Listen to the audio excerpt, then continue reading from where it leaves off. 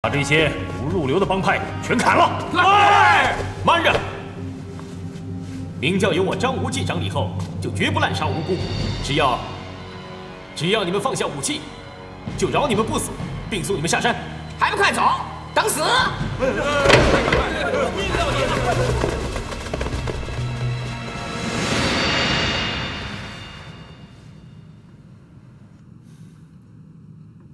说句话，你们拥我为教主，那我说的话，你们听是不听？听！不听者，教规严惩。是。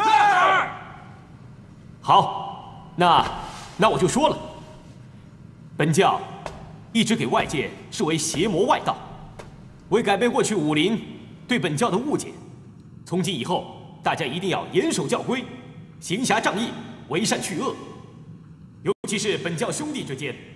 务必亲爱互助，有如手足，切戒自相争斗。我等谨遵教主圣谕。天鹰教众听着，本教和明教同气连枝，本是一脉。天鹰教这个名字永除名武林，返本归宗，人人捐济旧怨，为明教群策群力。另外，打从今日起。只有张教主，没有殷教主。不遵者，犯上叛逆。遵令。天鹰教和明教分而复合，乃是天大的喜事。不过，我还是要把我的心里话说出来。就以事来论事，依据杨前教主遗书所言，找回圣火力的人就是明教第三十四代的教主。他逝世之后，教主之位就由金毛狮王谢逊在这，所以。我认为理当即刻前赴冰火岛，迎归谢法王，由他设行教主，然后再设法寻觅圣火令。属下有话要讲。我明教群龙无首数十年，如今好不容易有了您这位智勇双全、仁义豪情的教主统领我们，可以重振声威。属下担心的是，万一我教中有一庸碌无能之人，无意中取得圣火令，怎么着？难道求他当教主不成？杨前教主的遗言是二十多年前写的。跟当今的局势大不一样。依属下之见，金毛狮王还是要迎接的，可圣火令也是要寻找的。但要找另外一个人做教主，恐怕是不服众望啊！是是啊，是啊，行，谁还能做教主呢？不成，杨前教主的一命绝不可违。哎，这个好，好了，我心意已决，大家不必再多言了。哎呀，眼前第一大事是去海外迎归金毛狮王谢法王。此行非我亲去不可，还有哪位愿与我同去啊？我等愿追随教主同赴海外。不行不行，前往海外的人手不必太多。明教此刻尚有许多大事需人料理。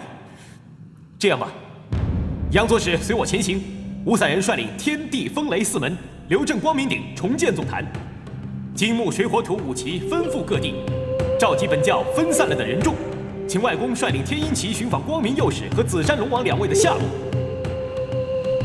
韦福王，请分别前往六大门派掌门人居处，说明本教只占修好之意。纵使不能化敌为友，也当能止息干戈。遵教主圣谕。爹，我也想到海外去瞧瞧冰火岛的风光啊。我可做不了主，你去跟教主说。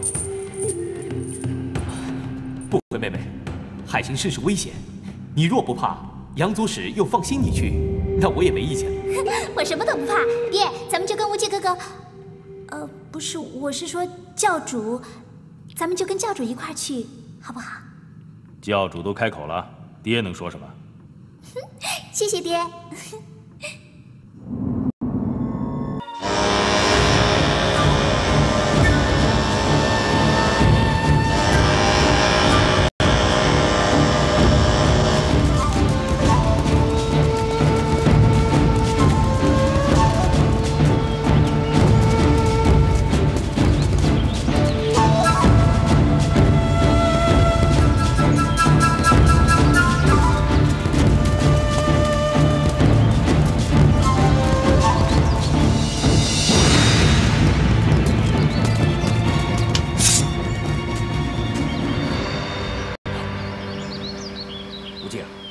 昆仑派的，由此断见，不难断定昆仑派在此遇伏。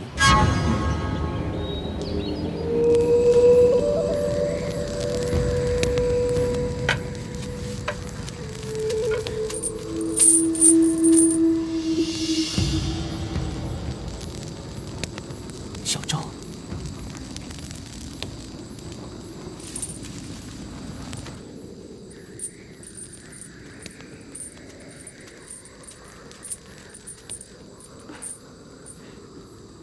讨厌的铁链，我尽量不想出声，可还是惊扰了你。小赵，你怎么跟过来了？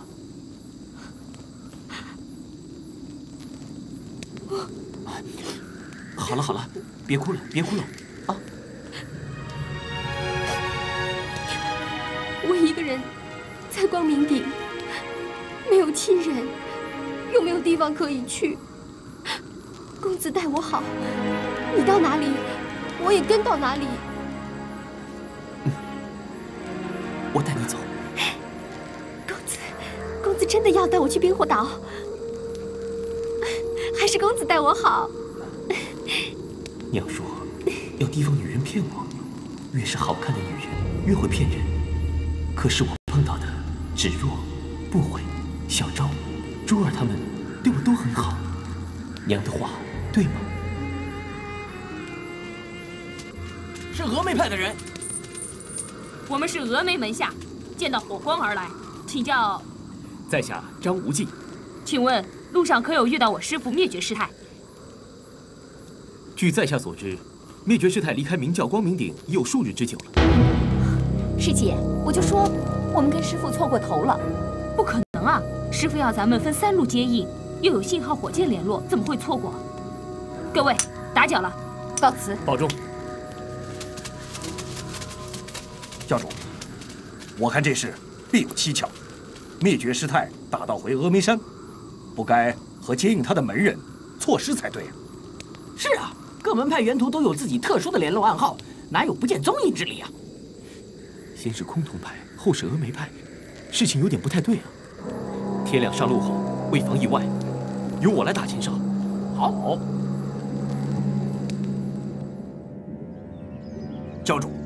属下就此告别，赶回天鹰教，完成教主令谕，寻得光明右使范瑶和紫山龙王。外公，这是咱爷俩话别，不要那么硬邦邦的。好，好，听你的。无忌，此去冰火岛可要一路小心呐。我不会有事的。见到舅舅，代我向舅舅问好。哎，我也是纳闷啊，他和白堂主先我赶来光明顶，到现在我还没有见到他的面，我心中好是担心呢。会不会跟珠儿？珠儿？谁是珠儿？这说来话长，我改天再跟你详述吧。外公，一路顺风啊！好，告辞。